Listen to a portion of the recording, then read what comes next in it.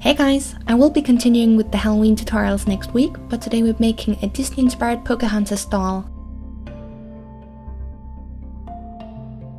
Besides the slightly exaggerated waist, most Disney princesses are usually anatomically correct, so for this you can just use the sketch of a normal woman if you have that. I show mine in my first doll tutorial if you haven't seen that. And then you just want to begin by making an armature the same way I did in my corpse bride video. Then mix the skin tone and begin sculpting the face. For the skin tone I used a couple of my doll clays which are just basic flesh tones and then I mixed in some light brown and some orange to get a more golden shade.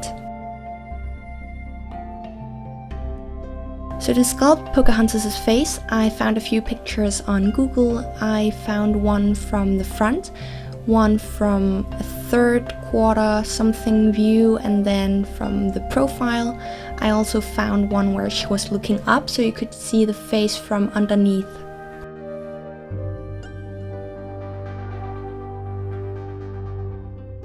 One problem that you'll find with some of these 2D animated characters is that because they don't need to show all the different angles when doing the animation, the different angles or images don't necessarily fit 100% anatomically and so you may have to guesstimate and just do somewhat what it would look like if it was a real face.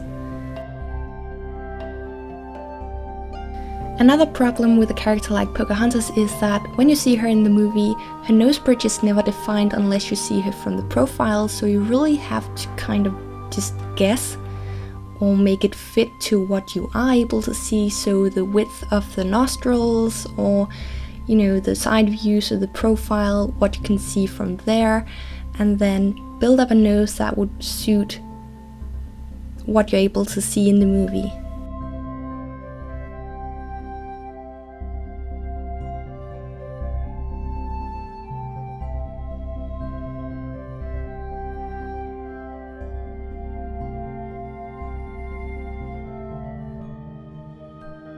Couple of you have been asking questions about the base I've been using to sculpt on in a couple of my recent videos.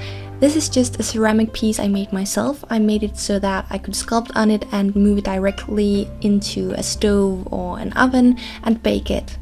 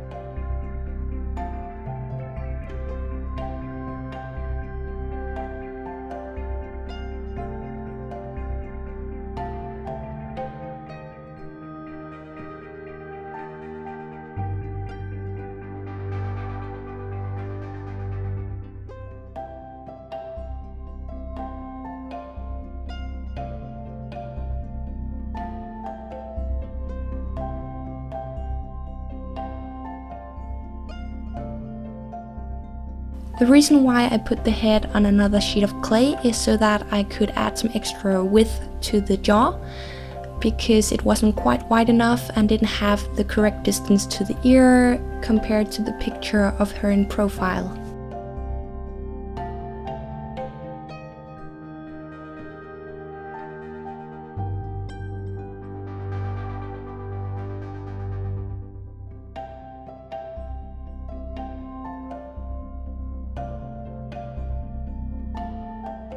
I then pre-baked the head and attached some ears.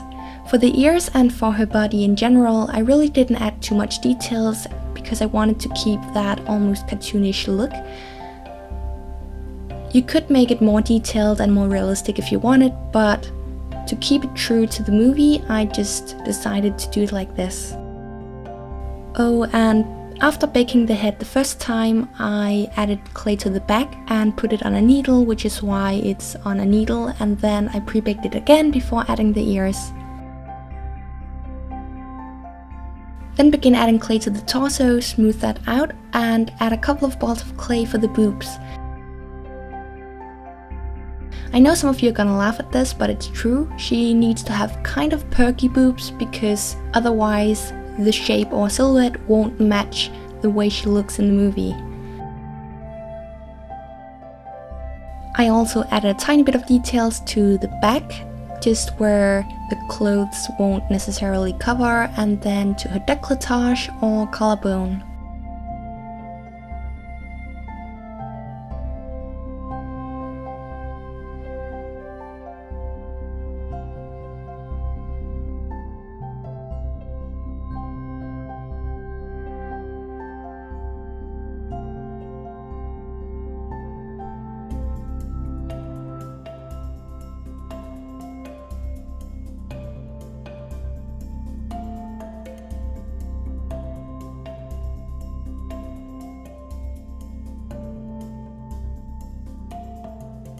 I then pre-baked the torso and started adding clay to the waist and hips and then I pre-baked again before adding clay to the arms and legs.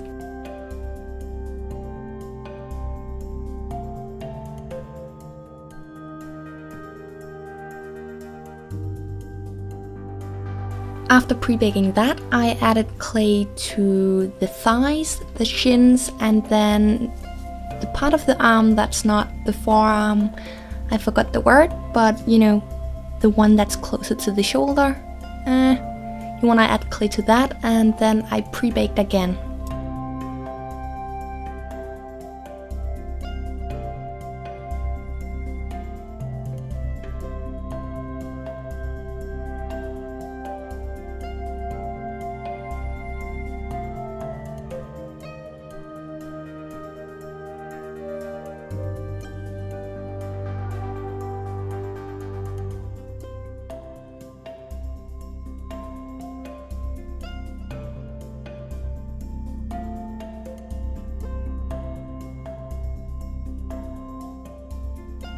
You then want to sculpt the feet and the hands, pre-bake those and attach them to the rest of the doll.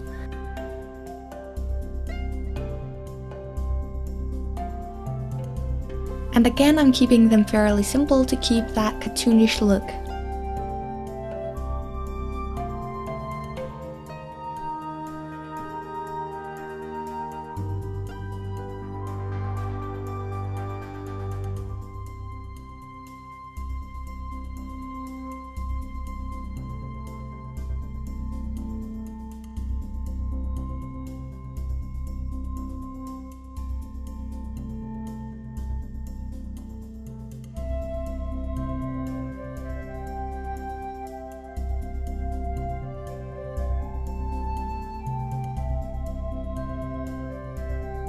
I did receive some requests for making Disney princesses and I am planning on making more so I'd like to know which ones are your favorites. Pocahontas, Ariel and Kidagakash are definitely my top 3 but I like a lot of them and I would like to make as many as possible so let me know in the comments which ones you'd like to see. It doesn't even have to be princesses, just Disney characters in general or animated characters, just anything that you think would be fun to see a doll version of.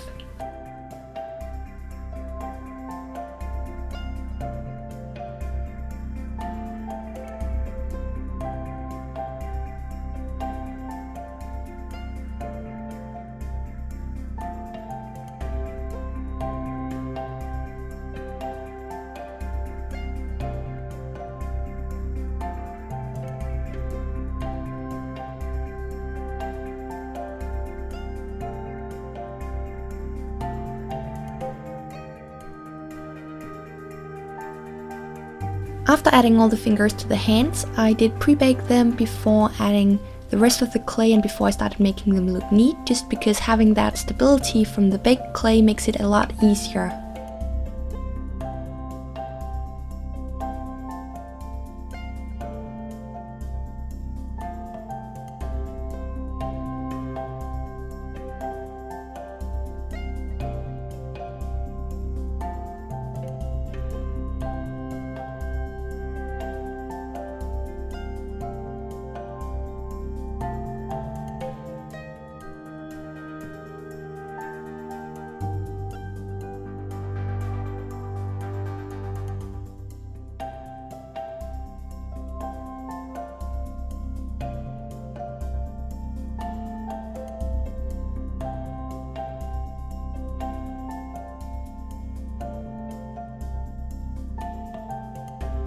And then once you're done, you should have something like this.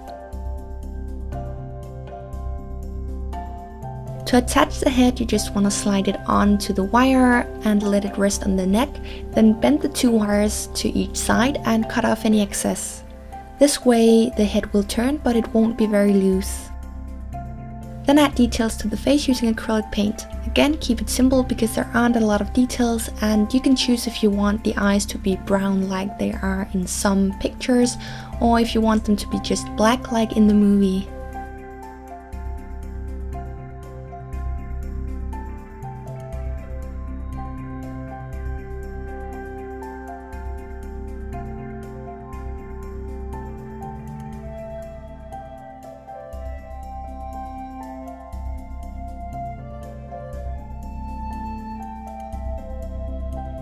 I also added a tiny bit of blush and contouring using soft pastels.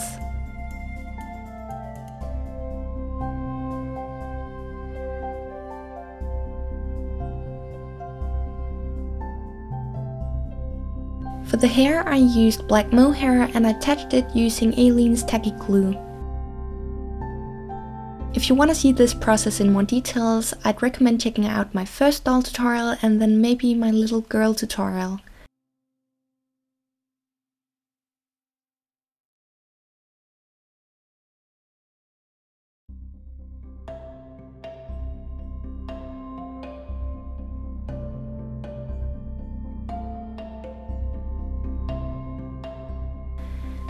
Also used black acrylic paint for the hairline just because that way you don't need to worry as much about making it too exact.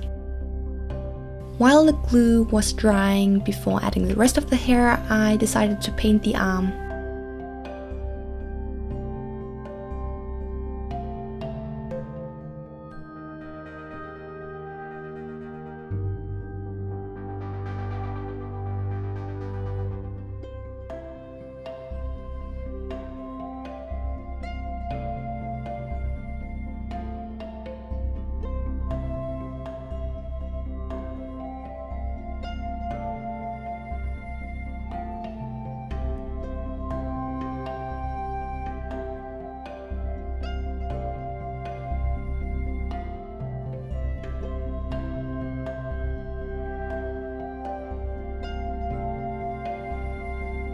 And then to make a really quick version of the outfit, I took two colors of fabric and cut and glued just little by little, attaching only tiny areas at a time.